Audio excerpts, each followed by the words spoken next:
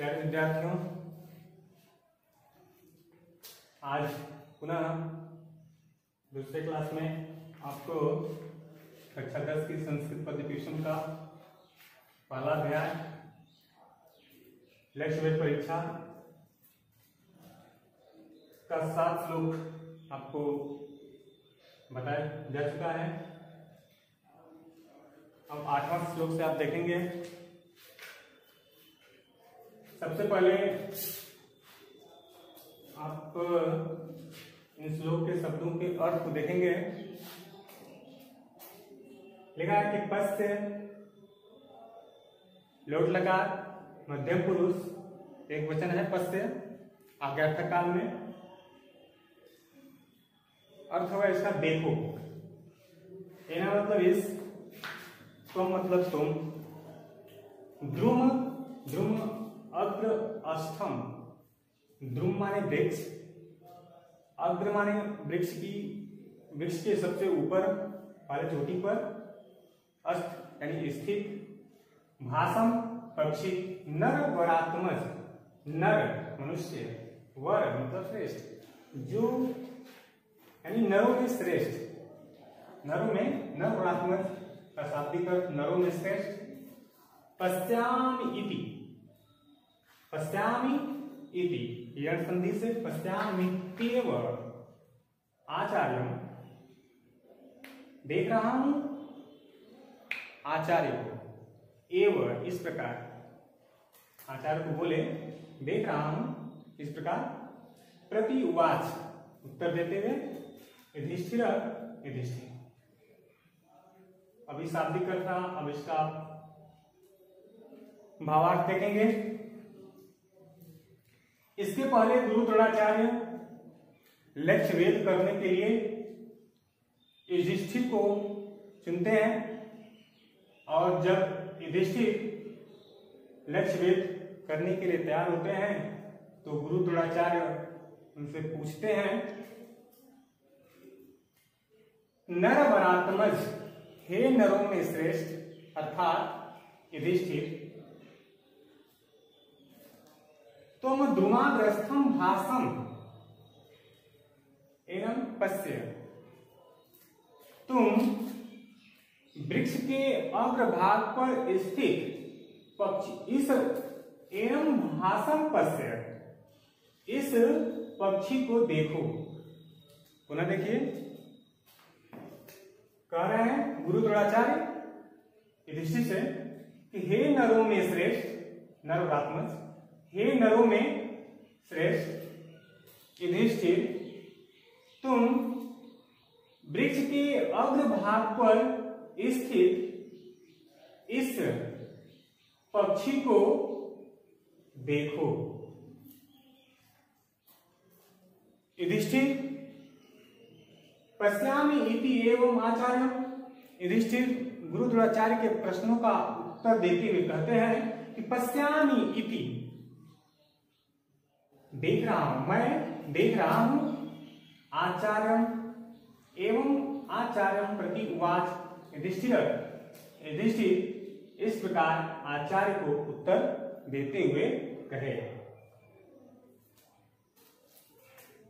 नवा श्लोक लिखा है स्वमुहूर्तात इवं पुनः दृढ़स्तम प्रत्यभासत अथ वृक्षमिमं वा भ्राक्षी वा अपि प्रपश्यसि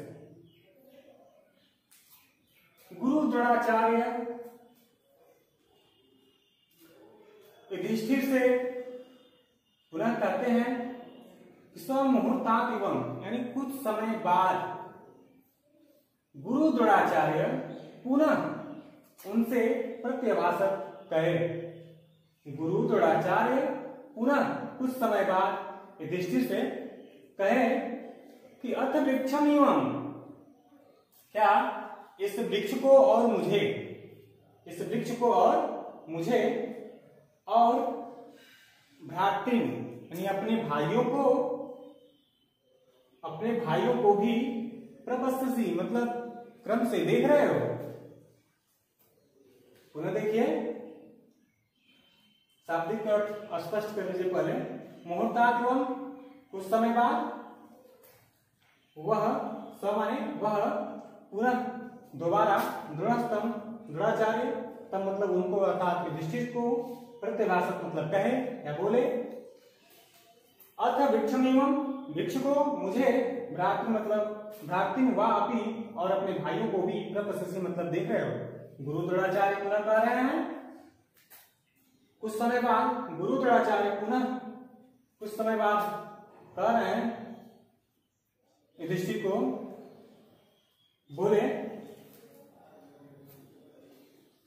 कि इस वृक्ष को और मुझे और अपने भाइयों को भी देख रहे हो।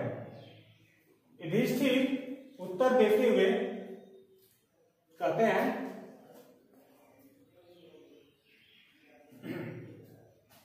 तम उवाच स कौन्तेय पश्याम एनम वनस्पति च तथा भ्रातृ भाषम च इति पुनः पुनः।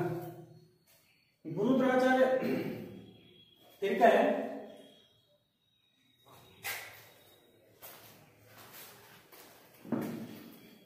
शाब्दिक अर्थ देख लीजिए पहले तम आज उनसे कहे समाने वह कौन थे मतलब कुंती पुत्र?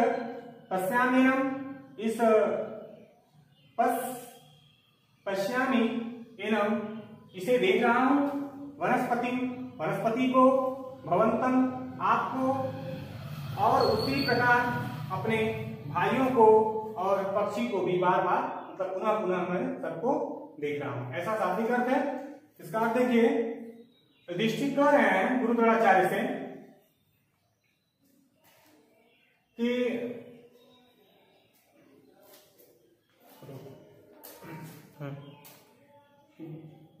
द्रोणाचार्य के प्रश्नों का उत्तर देते हुए युधिष्ठिर कहे, कौनते कुंती पुत्र युधिष्ठिर अपने गुरु द्रोणाचार्य के प्रश्नों का उत्तर देते हुए कहे कि पश्यामी एनम। इस वनस्पति को पश्यामी, देख रहा हूँ। भवंतम च और आपको भी देख रहा हूँ। तथा भ्रातृ और उसी प्रकार अपने भाइयों को और भाषण यानी पक्षी को इस पक्षी को भी पुनः पुनः मैं देख रहा हूँ। तम उवाच अपसर्पेति द्रोणो अप्रीत मना इव न सत्यम त्वया वेद्धुम लक्ष्यम इति कुत्सयन लक्ष्यम इति एव कुत्सयन तम उवाच अपसर्पेति गुरु द्रोणाचार्य ने तिरस्कृत करते हुए शाब्दिक अर्थ देखिए, गुरु द्रोणाचार्य तम उवाच उनसे कहे अपसर्पेति तिरस्कृत करते हुए उनको भला बुरा करते हुए अपसर्पेति यानी भला बुरा करते हुए या तिरस्कृत करते हुए द्रोड़ो अप्रीत मना इव द्रोड़ो गुरु द्रोणाचार्य अप्रीत मना यानी अप्रसन्न अप्रसन्न मन वाले के समान। अप्रसन्न मन की भांति। न एतत सत्यम संधि विषय करेंगे। न सत्यम का होगा। न एतत सत्यम नहीं, न माने नहीं, एतत माने इस। या यह तो सत्यम सकता है तो या तुम्हारे द्वारा वेदुम लक्ष्य को वेदना, लक्ष्यम इति लक्ष्य को वेदना कुत्सयन उनको इस प्रकार पुरस्कृत करते हुए कहते हैं, हट जाए कुत्सयन उनको हटा देते हैं। अब इसका भावार्थ देखिए। अप्रसन्न मन की भांति गुरु द्रोणाचार्य, अप्रसन्न मन की भांति गुरु द्रोणाचार्य। युधिष्ठिर से कहते हैं कि तुम्हारे द्वारा तुम्हारे द्वारा तुम्हारे द्वारा यह एतक यह लक्ष्य नहीं भेदा जा सकता। इस प्रकार करते हुए उनको हटा देते हैं।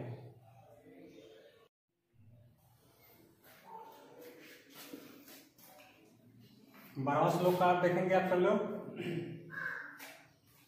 लिखा है, ततो दुर्योधनादिष्टान दुर्योधना धात्राष्ट्रान् महायशा तेनैव क्रमयोगेन जिज्ञासु परिप्रेक्ष्य। बारहवा और तेरहवा श्लोक। एक में ही देखेंगे आप। जिज्ञासु। जिज्ञासा रखने वाले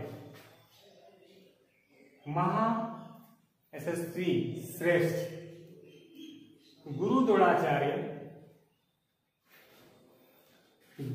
धातराष्ट्राम धृतराष्ट्र के पुत्रों, दुर्योधन धृतराष्ट्र के पुत्रों में सबसे पहले दुर्योधन और आदि स्थान का मतलब दुर्योधन के सभी भाइयों से उसी प्रकार, तेन एवं उसी प्रकार ही जैसे युधिष्ठिर से गुरुद्रोणाचार्य प्रश्न किए थे, उसी प्रकार ही दुर्योधन और दुर्योधन के सभी भाइयों से क्रम से परिपृक्षक यानी पूछे।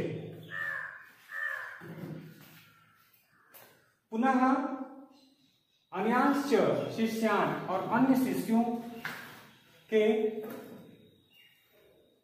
अन्य शिष्यों से और भीमादि राज्यांश एवं अन्य देशान और अन्य देश से आए राजकुमारों भीम आदि भाइयों नकुल सहदेव आदि युधिष्ठिर की भांति उसी प्रकार तथा अर्थात उसी प्रकार उत्तर पाकर के युधिष्ठिर की तरह उत्तर पाकर के सर्वे सत सर्वम पश्चामी यानी हम सभी सब कुछ देख, मैं सब कुछ देख रहा हूँ इति उत्सव इस प्रकार का गुरु द्रोणाचार्य सभी शिष्यों से उत्तर पा करके सबको तिरस्कृत करते हुए हटा देते हैं।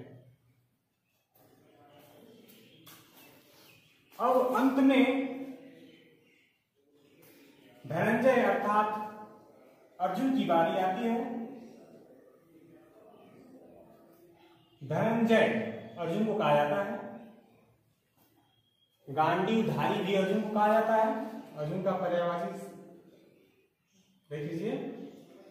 धनंजय और गांडीवधारी इसलिए कहा जाता है कि अर्जुन के धनुष का नाम गांडी था। जब अंत में अर्जुन की बारी आती है तो गुरु द्रोणाचार्य मुस्कुराते हुए अर्जुन से कहे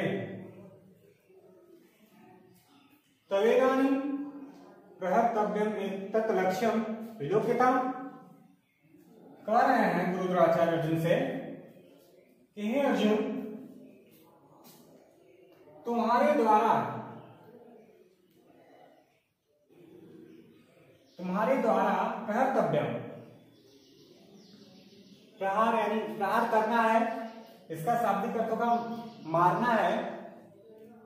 तो लक्ष्य भेद परीक्षा में इसका शाब्दिक अर्थों होगा भेदन करना है। लक्ष्य को भेदन करना है। कह रहे हैं गुरु द्रोणाचार्य अर्जुन से कि, हे अर्जुन, तुम्हारे द्वारा लक्ष्य को भेदन करना है। एक लक्ष्य विलोक्यता, इस लक्ष्य को देखो। विलुप्तता इस लक्ष्य को देखो। पुनः देखिए, फिर से मैं बता दे रहा हूँ। सभी शिष्यों से जब गुरु द्रोणाचार्य पूछ लेते हैं और सभी शिष्यों से युधिष्ठिर की भांति उत्तर पाकर के सबको तिरस्कृत करते हुए हटा देते हैं। अंत में अंत में मुस्कुराते हुए सस्मय मानो अव्यभाषक मुस्कुराते हुए गुरु द्रोणाचार्य अर्जुन से बोले कि हे अर्जुन, तुम्हारे द्वारा लक्ष्य को भेदन करना है और इस लक्ष्य को एतत् लक्ष्य इस लक्ष्य को विलोकता देख लो। आपका सात श्लोक और बचा। अब नेक्स्ट क्लास में पढ़ाया जाएगा। ध्यान से इसको पढ़ करके तैयार करते रहिए। धन्यवाद।